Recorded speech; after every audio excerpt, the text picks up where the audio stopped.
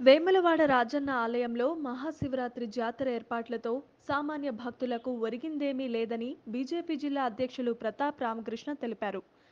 బుధవారం ఆయన ఆలయ పరిసరాలలో భక్తుల కోసం చేసిన ఏర్పాట్లను పరిశీలించిన అనంతరం మాట్లాడుతూ కోట్లు ఖర్చు పెట్టి కేవలం అధికారులకు అధికార పార్టీ నాయకులకు లబ్ధి చేకూరేలా ఆలయ అధికారులు చేస్తున్నారని అన్నారు.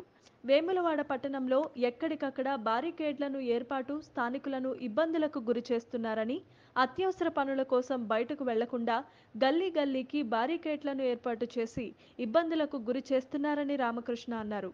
భక్తులపై నిజంగా శ్రద్ధ ఉంటే వచ్చే ప్రతి భక్తునికి మౌలిక సదుపాయాలు కల్పించి భోజన వసతి ఏర్పాటు చేయాలని కూడా డిమాండ్ చేశారు. ఆయన వెంట స్థానిక బీజేపీ నాయకులు కౌన్సిలర్లు ఉన్నారు. దేవాదాయ శాఖ ప్రభుత్వం రెండు కూడా కేవలం పబ్లిసిటీ కోసమే సదుపాయాలు చేశామని చెప్తా ఉన్నాయి. పేద ప్రజల పట్ల చివరికి మనం నిలబడిన ఈ టెంట్లు తప్ప సామాన్య ప్రజలు చేసిన ఫెసిలిటీస్ ఏర్పాట్లు ఏమి లేవు. ప్రజలను మభ్య పెట్టడానికి యాత్రికులు మభ్య పెట్టడానికి ఒక రకమైన మైండ్ గేమ్ ఆడుతుంది ప్రభుత్వం కానీ దేవాదాయ శాఖ కానీ. అంటే హిందువులలో ఉన్న సెంటిమెంట్ను వాడుకునే ప్రయత్నం చేస్తాం. అరేంజ్మెంట్స్ సామాన్య యాత్రికులకు కడుపు నింపడానికో మంచి దర్శనానికో ఎక్కడున్నాయో చెప్పుకునే దానికి సమాధానం లేదు. కోట్ల రూపాయలు ఖర్చు పెడతామని చెప్తా ఉంది. పోలీస్ శాఖ ముప్పై లక్షలు ఇస్తాం మిగతా ఏర్పాటుకు దాదాపు పదిహేను లక్షలు చేస్తూ ఉన్నారు. లైటింగ్ మీద ఖర్చు పెడతా ఉన్నారు. లైటింగ్తో సామాన్య యాత్రికులకు ఏమొస్తాయి ఈ ప్రభుత్వం సమాధానం చెప్పాలి.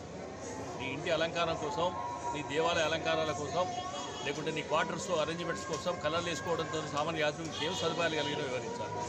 హెలికాప్టర్ దర్శనం వీడికి వచ్చేదే సామాన్య దర్శనం. హెలికాప్టర్ విహంగ వీక్షణతో సామాన్య పిల్లలకి ఏమొస్తుందో సమాధానం చెప్పాలి.